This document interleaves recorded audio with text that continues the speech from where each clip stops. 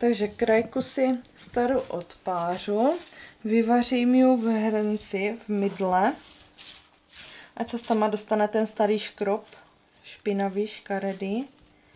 A jak to uschne, tak to namočím do škrobu, kde dávám pšeničný škrob a borax. A škrob dáváme jakoby asi spíš od oka, protože každá krajka je jinak pevná, každá toho potřebuje jinak, ale dávám ho určitě moc, protože ty krajky už jsou staré, jsou strašně jemné a nedrží to.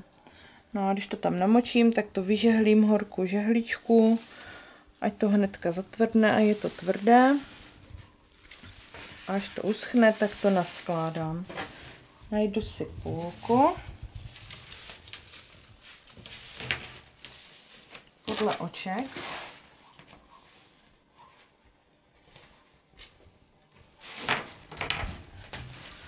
A ještě ta krajka má rub a líc. Tak se to nepoplete, vychází mě tady.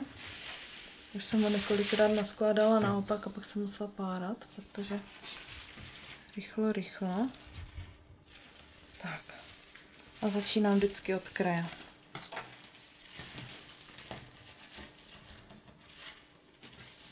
V každém obojku je kolem 3 až 4 metrů. Asi každý, jak co měl doma. Tak.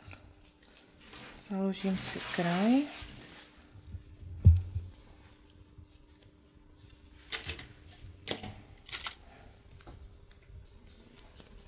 Teďka to začnu skládat.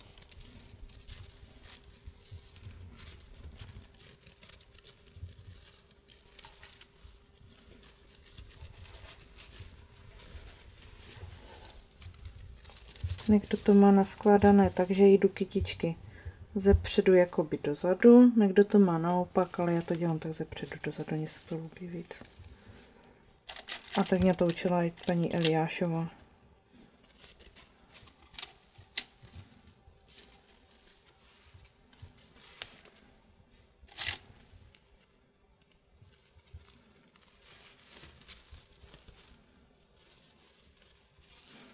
A mělo by to jít vždycky tak, aby ten kvíteček byl každý stejně vidět.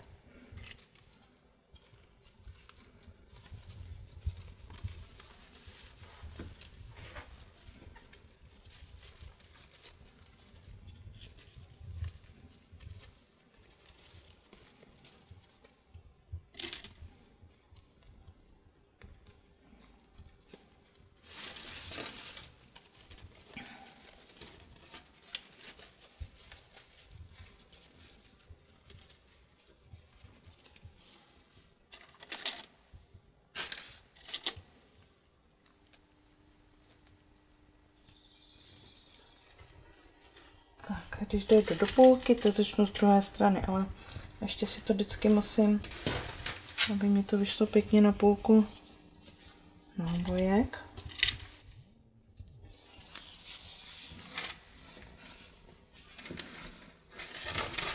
Tak jako při, přirovnám. Tak, stočím si to pěkně to tam vypadá hezky. Je to tak jako, že netrčí různě všeli, jak ty krajony jsou takové nehezké.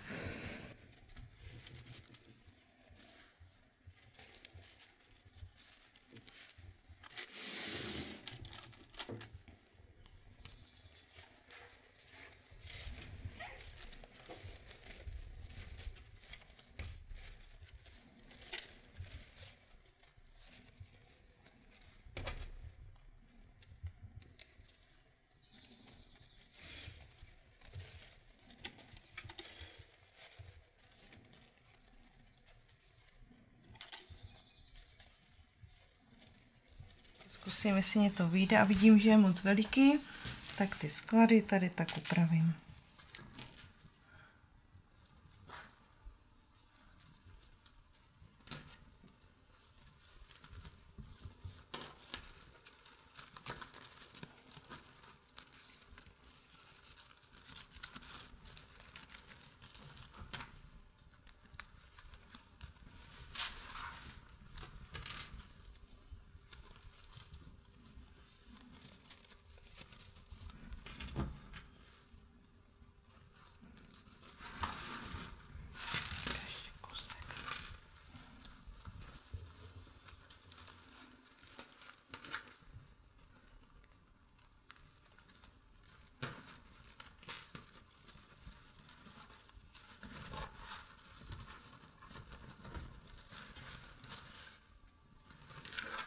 Ještě si to vždycky zastavuju, protože potom, když to... Tak se mě to dělá líp bez těch špendlíků. Ono ne, eh, v ruce to šiju i kvůli tomu, že ono někdy ty stroje to prostě neprošiju. Někdy, když je fakt jemný, malý, tak ho našiju na stroji, ale i ta krajka se prosekává.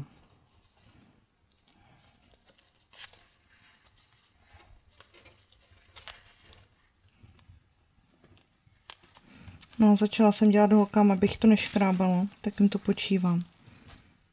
Jak to tam našiju, tak to celé počiju z druhé strany, protože sama vím, jak naša Eliška byla nešťastná, když ju to tam škrábalo. Takže já to vlastně počiju. Mm-hmm.